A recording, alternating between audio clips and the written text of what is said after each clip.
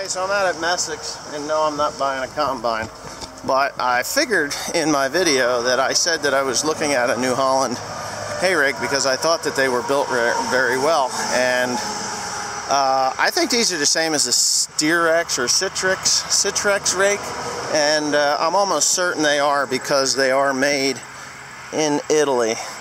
Uh, tell me that's not heavy duty right there. I mean, that's a half inch of steel there these uh, hitches are way heavier than what the uh, the H&S rakes are. Uh, this is only a 10 wheel rake, but I, I do like the way it is put together.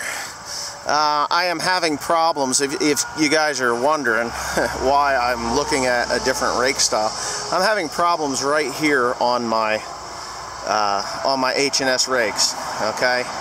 This is not heavy enough. They're starting to break apart, and this is just is just very different than this. Uh, I like this system better. And the reason I am going to be moving away from the H&S rakes is because they do have some minor small problems that I just don't feel are, you know, worth it to me. And then I'm going to walk over here, over here, and I'm going to show you the other rake that I'm interested in purchasing. I'm going to pull this cap off of here and I'm going to show you the difference in the steel. This is rake straw by the way, you can see this is a used one. Uh, this steel is a lot heavier than what the H&S was. Light running rakes are great, I love them, but they also have to be durable. And again, the Pequea rake, this is a 12 wheel Pequea rake. Uh, and look at the heft of this right here. This is very heavy. It is half inch steel or 5 16 steel. I think that's half inch steel there too.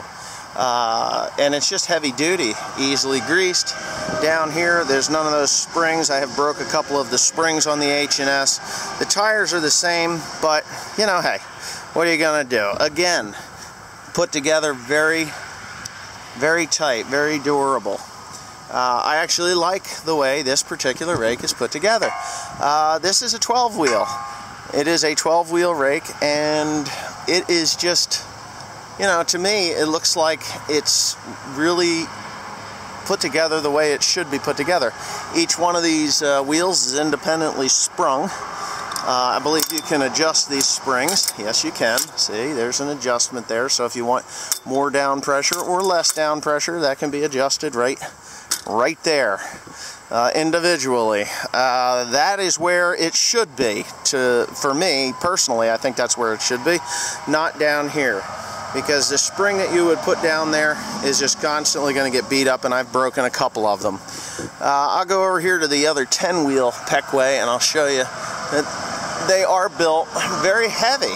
They're put together right. I mean, this is heavy, greasable here. Everything is greasable. Um, and for the price, the difference in the price, I think that I will be somewhat happy with what it is. Uh, so this is a mid-cap rake, 10 wheel. This one here I believe is the same mid-cap rake 10 wheel, 12 wheel. This one's used slightly.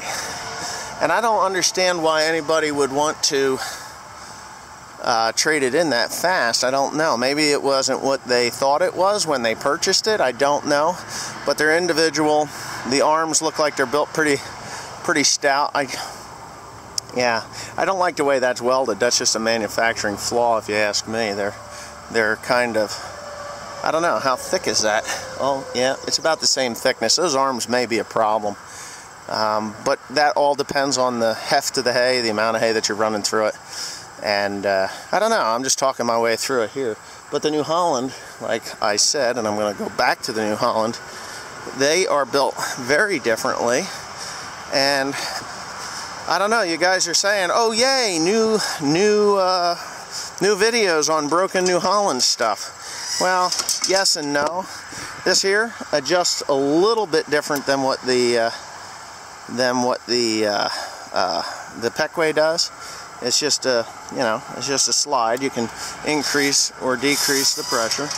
And they have rubber bushings there, which I like a lot. And I also like these solid shafts that are welded on bent steel tubing. You will bend these shafts, but you won't break that tubing like uh, you will with some of the other models. I've looked at a lot of these things. Now, this tubing is thinner than what the Pequea is, just a little bit. Uh, this is going to be something like a uh, 10, 11 gauge maybe, 10 gauge. Maybe that's uh, 3 16ths steel. Uh, but it is welded over a very large surface area, including here and here. So it would take a lot more for that thing to break. I don't understand this piece, whether that's an extension that they added to it, which could very well be. I don't know. Um, yeah, it looks like an extension. Oh, it is an extension. So yeah, they just added, they just bolted an extension onto there. That just bolts inside there, and I could almost guarantee you that it's here too. So you can take those off. If you snap that off of there, fully replaceable. So I hope that you understand uh, why I am keeping a rake, as I say, fresh. Uh, this one is actually very narrow to go down the road. You can see that they actually touch. Um, the wheels on these rakes are about $1,650 to replace on a 12-wheel rake. And uh, I can trade those rakes in for somewhere around 4,500 bucks or sell them for $4,500. They're excellent rakes. They're ready to go to the field when I leave, when I'm done with them, and I'm probably going to sell them outright. Uh, but the uh, the uh, the new ones, we're looking at seven, maybe a little more than seven thousand dollars for this this hay rake. It's not going to be eight thousand. I know that for a fact. Uh, so for three to four thousand dollars, I get a brand new rake with a warranty and new wheels that I don't have to replace. So I hope I explained that uh, well enough for you. It might not have. There's a lot of really cool equipment around here. Everybody will say, "Oh, that's an old combine," but to me, that's like brand freaking new. I love them. I wish I was doing corn and soybeans again because I would just love to have one of these. Trade in my TR96 on one of these new bad boys. There's so much equipment out here.